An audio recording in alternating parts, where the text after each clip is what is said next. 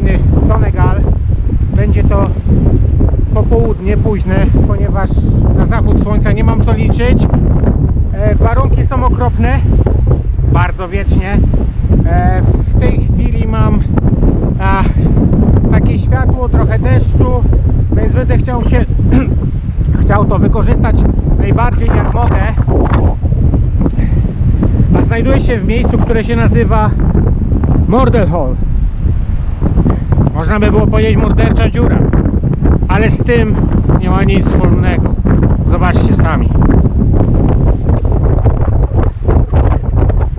Powiem, że mam bardzo kiepsko, ponieważ tak wieje, wszystko trzęsie się, na pewno to słyszycie, albo już nie słyszycie. Jest naprawdę... Wszystko się trzęsie. Więc chyba to tylko będzie turystyczny kadr, który mi się uda z- uchwycić, żeby był tylko ostry i nic więcej.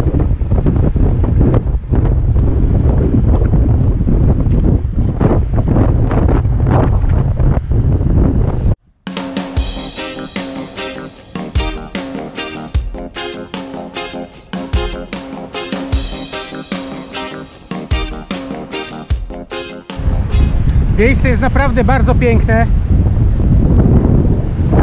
ale warunki dość trudne. Jest to jedna z piękniejszych albo najpiękniejszych plaż w Irlandii, jakie widziałem, a widziałem już ich trochę. Ta jest osłonięta, wspaniały piasek, woda.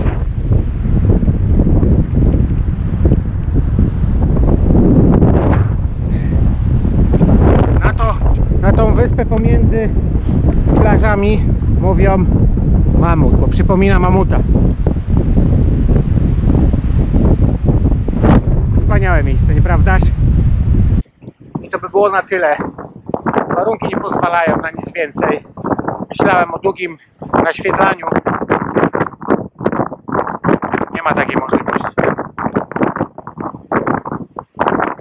Po prostu trzeba będzie tu wrócić. A ja będę wracał do domu. Pogoda tylko ma się załamywać, ma padać pochmurno. Więc jeśli możecie, kliknijcie kciuk w górę. Jeżeli mnie w ogóle słyszycie.